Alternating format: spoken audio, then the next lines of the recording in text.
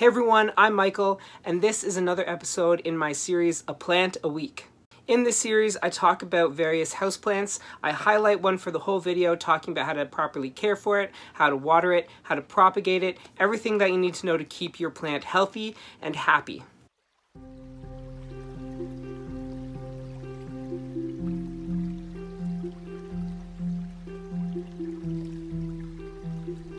This plant is called Jasmine polyanthum, more commonly known as jasmine, just like the Disney princess. This blooming plant is normally an outdoors plant, but I guess that could really be said about any plant. It has long vining stems with delicate green leaves that in the winter sprout fragrant white flowers that smell like, well, like jasmine. Typically, these plants bloom in the winter and their fragrance is more prominent at night. There's probably some sort of scientific explanation for this, but I don't really know it. My jasmine is actually just done blooming. Um, you can see that a lot of the white flowers now have wilted and they're done. So this is what a jasmine looks like when the blooms have died. So you can probably tell that there are some areas of my jasmine that look less than healthy. There are a number of dried leaves. That's because jasmine like to be consistently moist. I've had to water mine multiple times a week which is a pain because I'm also trying to be less generous with my watering for all of my other plants because I have a tendency to overwater things. But this is what happens when you let this plant dry out. And that's totally why I did it. I let it dry out to show you all how it looks if you don't keep the soil moist. Yeah, totally did that on purpose. Jasmine also thrives in a very porous soil, so make sure the soil you're using is full of extra drainage, including perlite, orchid bark, and whatever else you can add. I've yet to repot mine, but it's definitely going to need a new pot in a few months as the roots are starting to snake out of the bottom of the nursery pot it's in. Despite preferring a porous soil, this plant likes to be moist throughout the year, so this is one of those plants you'll want to check on every couple of days. These plants are actually one of the few that can handle direct sunlight, and in the summer months, it does your jasmine really well to have it outside, somewhere where it can get an ample amount of sunlight. In the winter, bring it back inside, as it can't survive colder temperatures that well, and decrease the light slightly, but still give it an ample amount of light. You want to keep it in a window pretty close to a bright light source. As far as fertilizing, normally you want to fertilize in the late winter and early spring.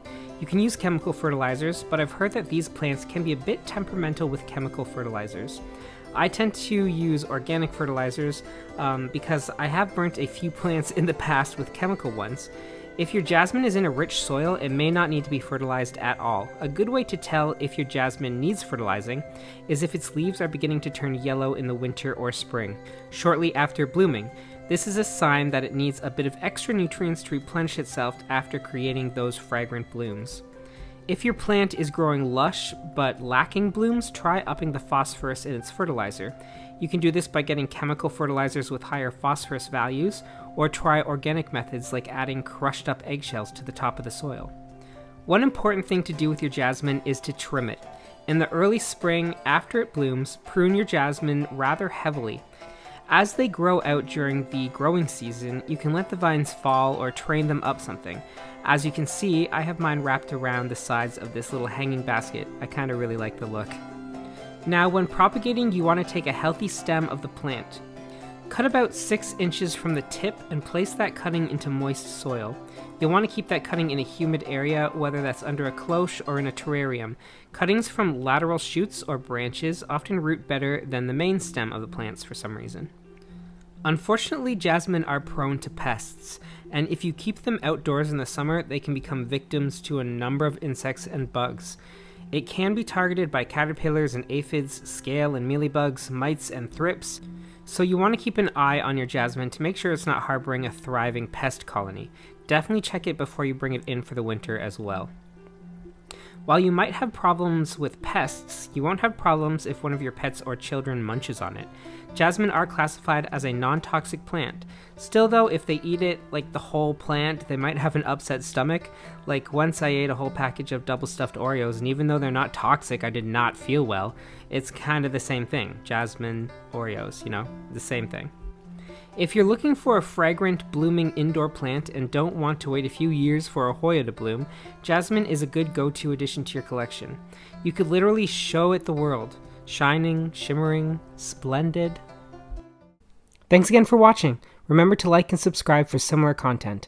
On Mondays, I post videos about houseplants, and on Fridays, I also post videos about houseplants, and reading, writing, photography, art, and any other generic interests of mine. As always, you can find my social media links in the description below.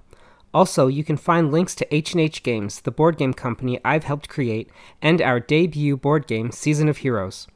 You can also find the Amazon links to my fantasy series, A Chronicle of Crowns. Thanks for watching, bye!